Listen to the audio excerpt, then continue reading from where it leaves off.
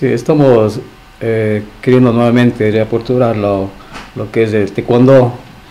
Tenemos ahora una nueva profesora que va a estar encargado durante este periodo. Así vamos a hacer una invitación a todos los televidentes para que inscriban a las, a las personas que deseen eh, directamente a las oficinas de Liga. ¿Tiene algún costo la inscripción? No, son totalmente gratis. Están invitados eh, niños y jóvenes, los niños desde los 5 años en adelante, porque es una escuela formativa, pero eh, por el momento nos vamos a enfocar en lo que es los intercantonales, que, que para la categoría infantil y cadetes, los infantil desde los 8 años hasta los 11 y los cadetes desde los 12 hasta los 14 años si hay todo lo adecuado, los implementos y todo lo que uno se necesita para poder eh, trabajar con los chicos. Bueno, en realidad recién vamos a hacer la invitación a todos los chicos eh, niños de Girón para que se puedan inscribir, ya están las inscripciones abiertas para que puedan eh, ingresar ya. que los horarios son de en la tarde desde las 3 hasta las 6, van a ser divididos según las edades.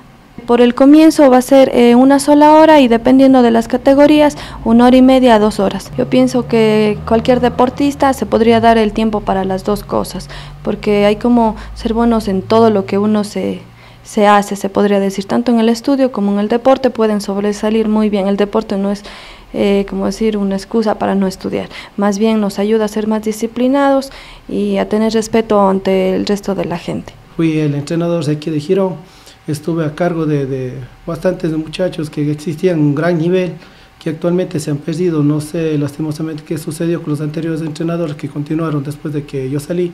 Pero bueno, ahora queremos retomar para que Girón eh, resalte nuevamente. Ya hace dos años Girón quedó en tercer lugar en Juegos Intercantonales. Ahora queremos retomar junto con el nuevo presidente, la nueva directiva, la nueva entrenadora, para que continúe este proceso y no se queden estancados ni tampoco se elimine esta disciplina dentro del Cantón Girón. Claro, puede dar una, excelentes resultados, por eso mismo el Ministerio del Deporte, Secretaría del Deporte, han dado su categorización en los deportes.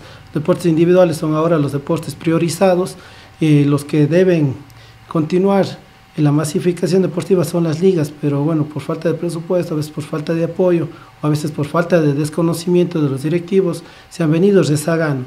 Pero actualmente con las nuevas directivas que, que estamos ya al frente, vamos dando mucho más realce a estos deportes priorizados y estamos teniendo mayor acogida y mejores resultados para que nuestros deportistas puedan conformar las, eh, las selecciones provinciales y en un futuro también puedan conformar selecciones nacionales www.achiras.net.es, el portal de Girón.